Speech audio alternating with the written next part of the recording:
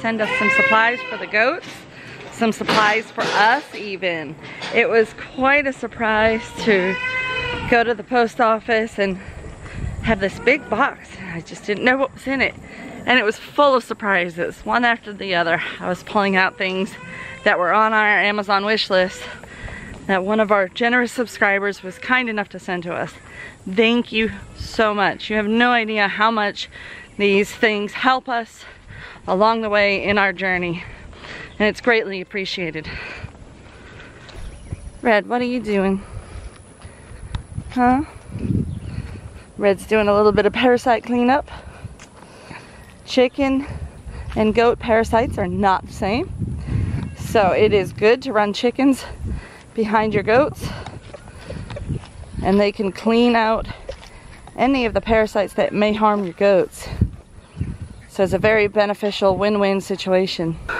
We move this chicken paddock around the pasture to help clean up any parasites that the goats may have dropped while they were th where they were at.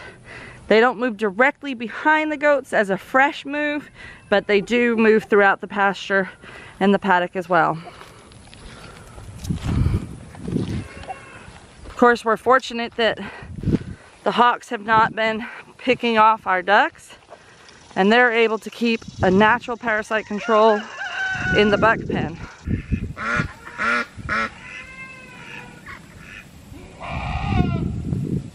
What are you doing, Tom?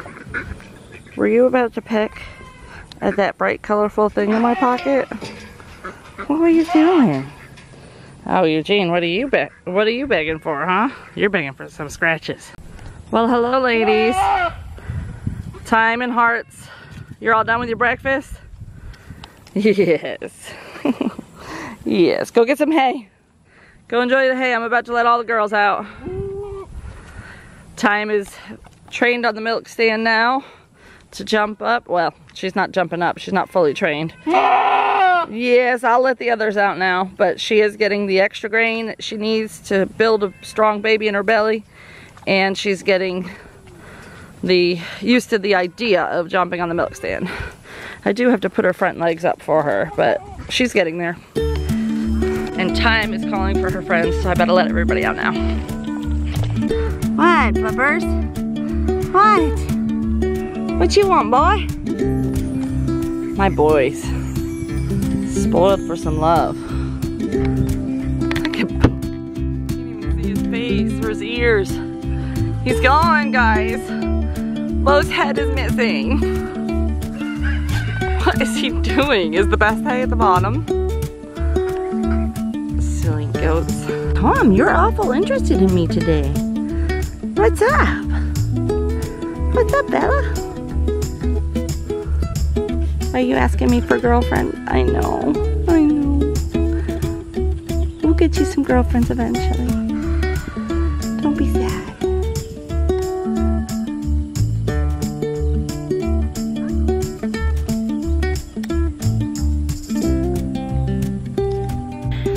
You have sent us private messages asking if we're going to be okay with the coming hurricane that's approaching the East Coast we should be okay where we are. We're far enough inland in Georgia that we are hopefully only going to have some heavy rains and some high winds.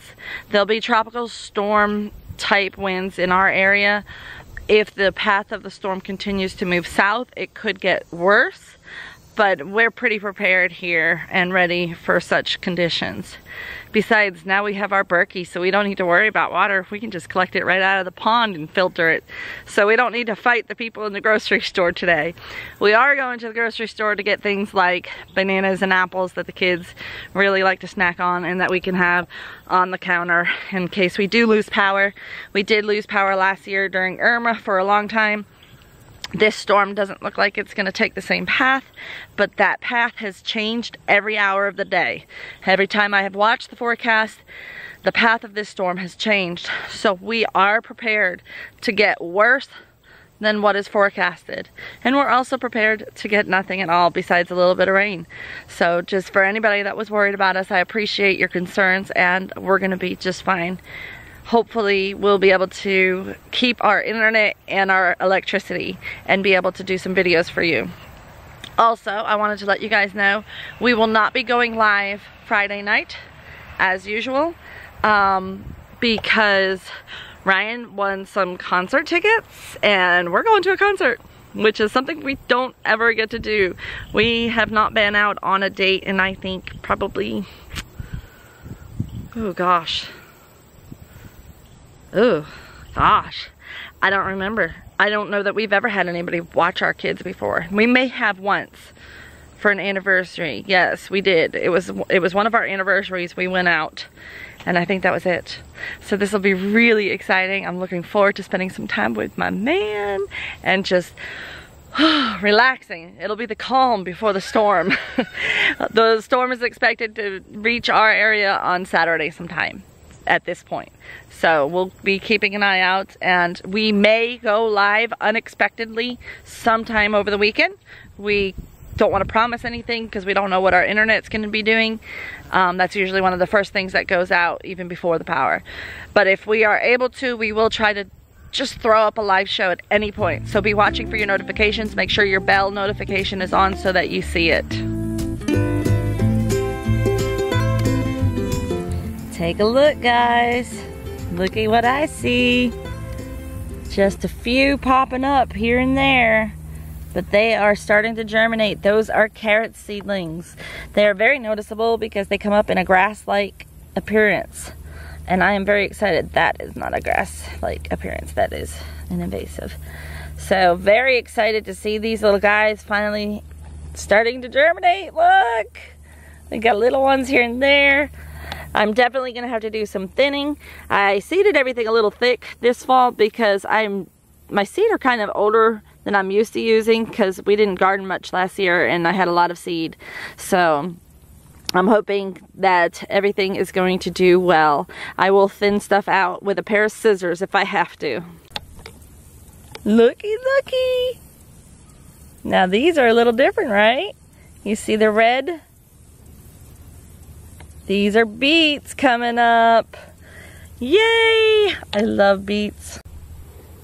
I am trying to train these cucumber to go up into this tomato cage.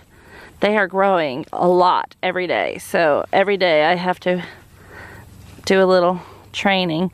These tendrils are great for using for training because if I just loop that tendril over that wire like that, I don't even have to twist it up. I just place it against the wire, it's naturally gonna grab a hold of that wire and twist itself around it. I'll show you in my next video that I'm out here in the garden what these tendrils have done to wrap around the wire. Oh my goodness, even the squash is starting to develop flower buds, guys. These things are growing so fast in this late summer heat. Look at all of the little baby flowers coming out of the sides of these squash. We will definitely have a chance to harvest some squash this year. I bet some of you thought I was crazy for planting cucumber and squash so late in the season. Um, it's one of the things I really love about growing in Georgia is we really do get an opportunity for a whole second summer. The peanut are doing beautifully. I've never grown peanuts before and I have no idea when I'm supposed to harvest. I know that I talked to a gentleman who grows peanuts for a living and he said 120 days from when you planted them. And if I count that out, then the first week of September would be the correct time. But my concern is, is we had goats come in and we had deer come in and eat some of these plants. So I don't know how much that set them back, you know? Does that set them back a couple of weeks or does that set them back a month or what? And the the hard part is is there's no way to know if there's peanuts in the ground without digging them up, which would actually kill them. But I can see here, so what's supposed to happen is after it blooms, it goes down into the ground. But see that one is broke off right there. This one, oh, nope, I thought that was in the ground. So it looks like those are just starting to go down towards the ground. This one just barely going into the ground. So I don't think we have peanuts yet. There's a few more on this one. Yeah, that one might be a peanut because it's firm. But if more of those don't reach the ground in time, I don't know that we're gonna have peanuts. And I'm really hoping we do because these will be the only peanuts I'll be able to eat. Peanuts are very bad for people on an anti-inflammatory diet. There are no excuses to eat peanuts if you have an autoimmune disease at all. You should avoid them at all costs. It's right up there with the gluten and corn of things to avoid. But there's a difference in these peanuts. These are not normal peanuts. These are Amazon peanuts, which are the only peanuts in the entire world that don't have the fungus growing on them that makes them inflammatory. The reason why people have peanut allergies is that fungus. The reason why they're inflammatory is that fungus. So without that fungus, these will be the only peanuts I get to eat all year. So I'm really hoping, and I think I'm just gonna leave them as long as I can to allow the most amount of peanuts to be formed under the ground. Oh, this is hard. This is so hard for me. I love peppers and I love, look at that. It looks so delicious and I won't be able to eat it. But my family will, so I won't stop growing peppers and I won't stop growing tomatoes. And I've been doing some research and it sounds like there's a possibility that fully ripe tomatoes and fully ripe red peppers may be in a safer zone for me that I could possibly add those back into my diet at some point. I'm not going to be adding anything into my diet again from this elimination diet for a while. I'm going to be very careful here in the beginning. I mean, it's been about a month and a half, well, not fully a month and a half, a month and a half without gluten and a month, a little over a month without all the nightshades and everything else that my doctor recommended avoiding. So there's gonna be some hard times for watching other people eat the things I love and there already has been. I've actually been feeling really hangry lately. It's that, you know, hungry, angry feeling. I'm hungry more often than I'm not. And I think part of it is because I can't eat almost anything that's in my house. Even though I've tried to get more of the things I can eat in the house, I, they run out pretty quick or they become too repetitive where I don't even want to eat them anymore. Like tuna fish. I'm just over it. And like chicken. Tuna fish and chicken, tuna fish and chicken, sweet potatoes. I love sweet potatoes and I'm starting to get sick of them. But I'm not going to give up on this because I know my body is healing. Whether it's from the diet or the supplements or the combination of both probably the combination of both. I am feeling a lot better than I used to. I'm still having a lot of major issues. A lot of brain fog, a lot of anxiety. Not as bad. The anxiety has definitely gotten a lot better. I haven't had any panic attacks in a while. In at least three weeks. So that's pretty awesome. Considering the last couple of months I was having panic attacks like every week. But I know that growing your own food free of pesticides, no, no GMOs, is going to make a bigger difference than if I were to buy some nightshades from the grocery store or some corn from the grocery store.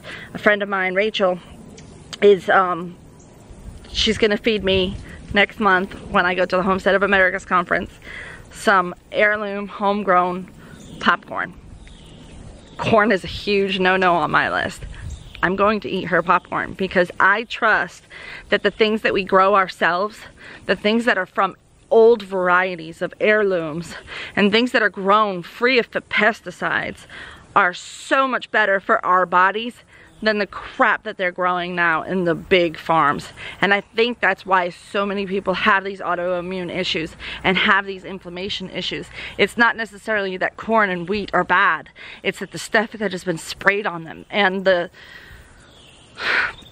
genetic makeup of it has changed so much, even if it's not a genetically modified organism, even if it's not a GMO.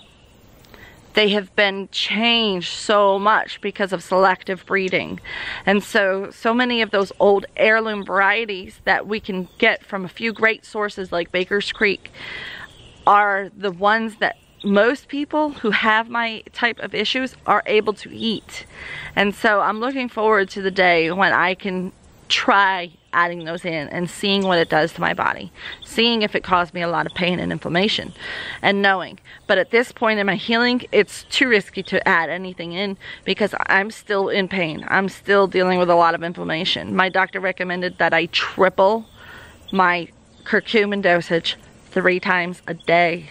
He wants me taking three curcumin three times a day. I was on one curcumin three times a day. Three. Because I'm having so much pain still, especially with the arthritis in my hands. A lot of that is the inflammation from the autoimmune disease. And of course, milking and gardening adds into that, I'm sure. But a lot of it is because my body is still healing. So I need to get more curcumin in my system. I need to get a lot more um, used to this diet. This has not been easy. And one of the other, you know, factors in the diet thing is, you know, this food is expensive. Um, when you buy cassava flour or almond flour or any of those other things that are specialty items, the price tag on them is much higher than the other ones.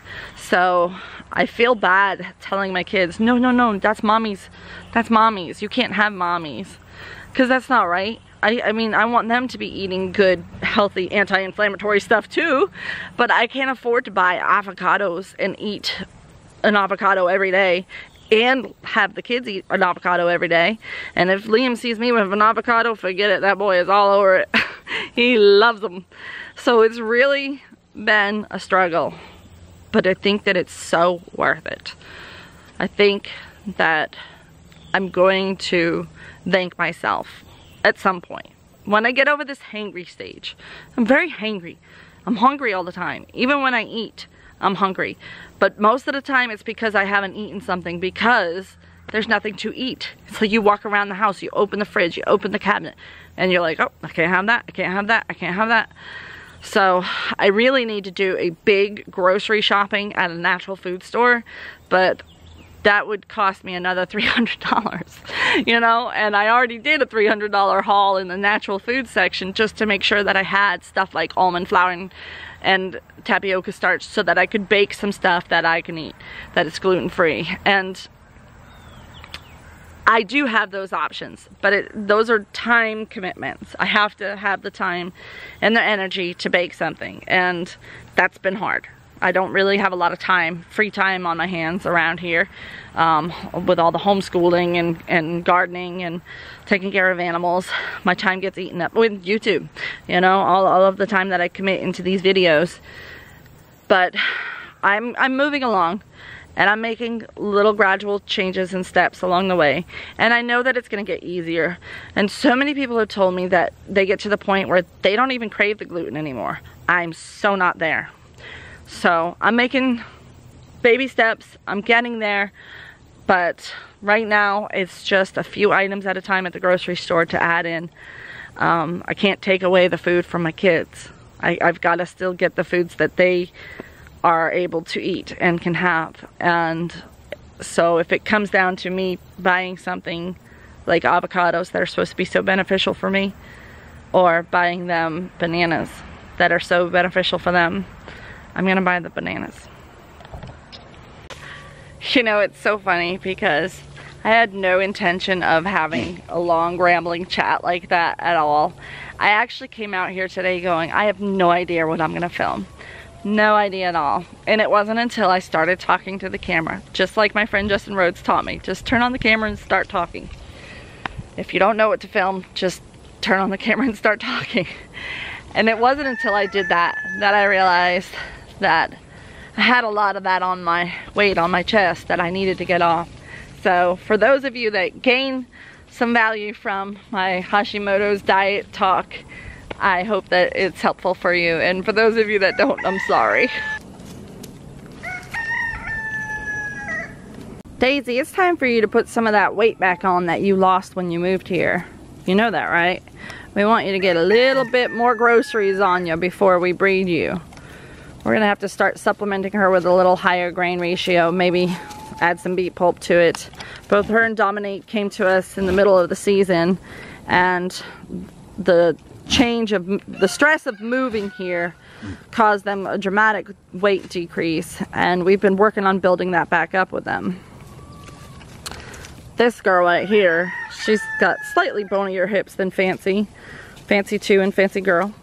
Um, she had a copper deficiency that is healed now. So she's she's made some dramatic improvements since this winter when she was looking like a scarecrow. Fancy Girl is drying off from the milk stand. She's still feeding her buck, but her wether, but she's she's not being milked anymore. We had so few people coming to get milk that we decided we were gonna just bring it down to Kitty, our wonderful producer, and Sister Ray, whose milk production is actually declining. So, for those of you that are not familiar with who our young goats are, that little girl back there with Sister Ray is her daughter, Dottie. And that's Jenny Bloom. Jenny Bloom is one of the two white ones, so that's truly scrumptious. Jenny Bloom has more brown on her coat. You see she's got a lot more brown in the top of her body color. And she is Rocky's daughter. Truly Scrumptious is Kitty's daughter. I'm expecting great milk production from her and from Dottie for that matter. And then we have Perkunis and Blossom. Perkunis is a wether who we're hoping to sell. Blossom and Flower. Flower and Blossom are Shady's girls. So, those are our babies. And little Fern here looks like one of the babies. Fern is actually a year old and still tiny. I don't know what the deal is with that. She never had um, coccidiosis or anything when she was a baby, so she, not sure why she stayed so tiny. Oftentimes, Nubians really don't grow that much until they're older. Nubians grow up until they're five years old. Hearts is getting a little bit more meat on her bones, so that's good. For those of you that don't know, who haven't been with us long, she had a rib injury and has had a very slow, very, very slow healing from that. We almost lost her at one point. So she is still suffering from that injury and we're, we're working on it. And then our, this year, our first fresheners will be rosemary, um, cream if she doesn't sell, precious, and Time over there. She's due in October. Luna we haven't bred. She would be a first freshener because she's almost two I think. But she is a mini and we don't have a buck small enough for her. What do you think, Lacey? What do you think, Titus? You lazy dogs.